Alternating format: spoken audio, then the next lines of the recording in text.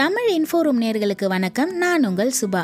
நம்ம இன்னைக்கு பார்க்க போகிறது தமிழ்நாட்டின் நம் அறிந்திராத மலை வாசஸ்தலங்களை பற்றி தான் பார்க்க போகிறோம் ஸோ வீடியோவை ஸ்கிப் பண்ணாமல் ஃபுல்லாக பாருங்கள் அதுக்கு முன்னாடி நம்ம சேனலை சப்ஸ்கிரைப் பண்ணாதவங்க சப்ஸ்கிரைப் பண்ணிக்கோங்க. கூடவே பெல் ஐக்கானையும் கிளிக் பண்ணிக்கோங்க. அப்போ தான் நாங்கள் போடுற வீடியோ உங்களை வந்து சேரும். தமிழ்நாட்டில் சுற்றி பார்ப்பதற்கு ஏராளமான இடங்கள் இருந்தாலும் ஊட்டி கொடைக்கானல் ஏலகிரி ஏற்காடு மேகமலை போன்ற இடங்கள் மட்டுமே சுற்றுலா பயணிகளிடையே ஃபேமஸாக இருப்பதுடன் அங்கு மட்டுமே சுற்றுலா பயணிகளின் வருகையும் அதிகமாக உள்ளது. ஆனால் இந்த இடங்களை தாண்டி இயற்கை அழகும் இதமான வானிலையும் வசீகரமும் சுற்றுலா ஸ்பாட்களையும் கொண்ட பல அறியப்படாத பிரபலமாகாத அழகான மலைப்பிரதேசங்கள் தமிழ்நாட்டில் உண்டு. இந்த பிரபலமாகாத அழகான இடங்கள் யாவும் உள்ளூர் மக்களுக்கும் அந்த மாவட்ட மக்களுக்கும் மட்டுமே தெரியும். அந்த சூப்பரான இடங்களை பற்றி தான் இந்த வீடியோவில் பார்க்க போகிறோம் வாங்க வீடியோக்குள்ளே போகலாம்.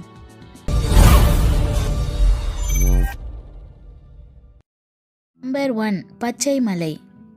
திருச்சி சேலம் மற்றும் பெரம்பலூர் மாவட்டத்தை ஒட்டியுள்ள கிழக்கு தொடர்ச்சி மலைகளில் அமைந்துள்ள பச்சைமலை ஒரு அழகிய பிரபலமாகாத மலைவாச ஸ்தலமாகும். கடல் மட்டத்திலிருந்து சுமார் மூவாயிரத்தி ஐநூறு அடி உயரத்தில் அமைந்துள்ள பச்சை மலை இதமான வானிலையோடு நம்மை வரவேற்கிறது. பச்சை மலையில் சின்னாறு கல்லாறு வெள்ளாறு மருதையாறு போன்ற நதிகள் உற்பத்தியாகி வருகின்றன. அதோடு இங்கே நீங்கள் மங்களம் அருவி மயிலூற்று அருவி போன்ற அருவிகளிலும் குளித்து மகிழலாம். இந்த பச்சை மலையில் முந்திரி பழம் பலாப்பழம் போன்றவை அதிக அளவில் உற்பத்தி செய்யப்படுகின்றன. இந்த இடத்திற்கு திருச்சி மற்றும் பெரம்பலூரிலிருந்து பேருந்துகள் இயக்கப்படுகின்றன.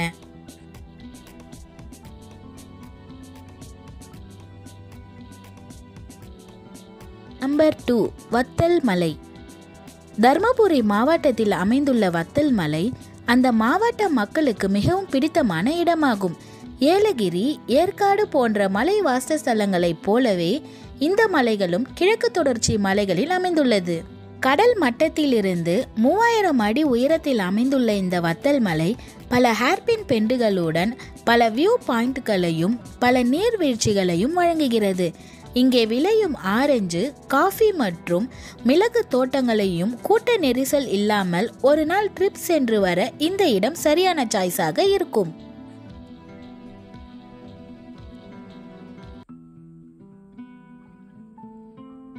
நம்பர் த்ரீ ஜவ்வாது மலை.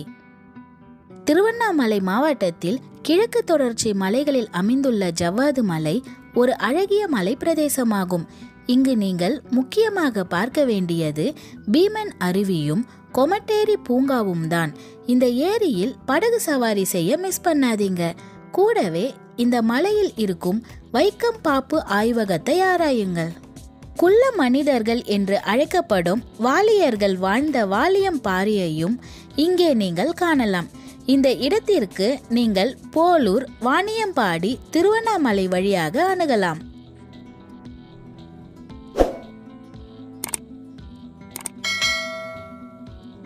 Number four Panrimalai.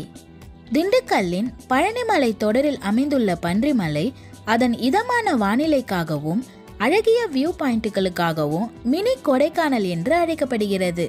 திண்டுக்கல் மெயினில் இருந்து ஐம்பது கிலோமீட்டர் தொலைவில் கடல் மட்டத்தில் இருந்து ஆயிரத்தி முன்னூறு அடி உயரத்தில் அமைந்துள்ள பன்றிமலை பல நீர்வீழ்ச்சிகளையும் அருவிகளையும் பள்ளத்தாக்குகளையும் வியூ பாயிண்ட்டுகளையும் கொண்டுள்ளது. இந்த இடத்தில் ட்ரெக்கிங் செய்வதும் கேம்பிங் செய்வதும் மிகவும் அருமையான அனுபவத்தை கொடுக்கும். கூட்டம் இல்லாத ஒரு சுற்றுலா செல்ல வேண்டும் என்று நினைப்பவர்களுக்கு இந்த இடம்தான் பெஸ்ட்